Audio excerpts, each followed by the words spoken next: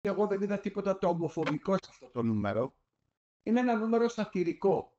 Η σάτυρα περιέχει ακραία στοιχεία. Αλλά δεν έχει καμιά σχέση με ομοφοβικό νούμερο. Ο Μάρκος είναι ένας άνθρωπος ο οποίος δεν παίζει μόνο, παίζει, σκηνοθετεί και γράφει. Είναι πολυτάλαντος. Επόμενο λοιπόν είναι μέσα στη σάτυρα να χρησιμοποιεί και μερικά στοιχεία που μπορεί να ενοχλήσει. Τι σχέση έχει αυτό με τα ομοφοβικά; Είναι δυνατόν ένας άνθρωπος σε αυτή, σε αυτή την εποχή να είναι ομοφοβικός.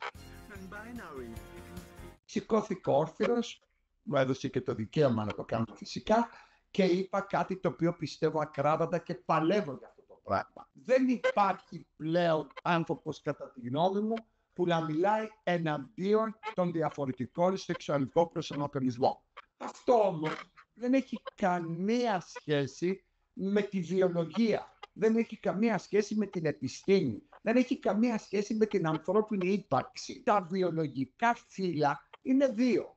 Το άρεν και το φίλι. Δηλαδή η γυναίκα και ο άντρα. Εκεί λοιπόν στηρίχτηκα και επαναλαμβάνω, στηρίζομαι και τώρα και λέω ότι τα βιολογικά φύλλα, τα άλλα, τα σεξουαλικά, τα προσωπικά, τα αστοπροσδιοριστικά, τα, τα, τα κοινωνικά, πείτε το όπως θέλετε, είναι άλλο παπά Ευαγγέλιο. Εμείς μιλάμε για τα βιολογικά φύλλα. Και μάλιστα ανέφερα ότι υπάρχουν κάτι σάβρετς απόγονοι των Ιγουάνα που γεννιούνται άσυλοι και μετατρέπονται ακόμη και αυτές οι σάβρες με τη θερμότητα σε συγκεκριμένα φύλλα. Άρα δεν υπάρχει αφιλία